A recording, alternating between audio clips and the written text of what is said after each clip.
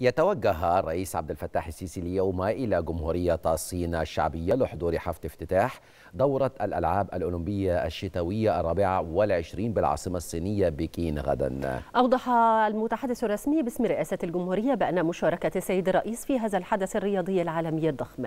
تأتي تلبية لدعوة الرئيس الصيني شين جين بينغ وذلك في ضوء العلاقة الوثيقة والاستراتيجية التي تربط مصر والصين.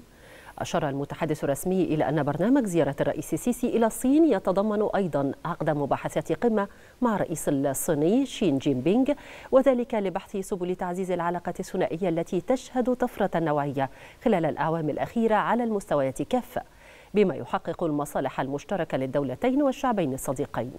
فضلا عن مواصلة المشاورات والتنسيق المتبادل حول عدد من الملفات الإقليمية والدولية ذات الاهتمام المشترك.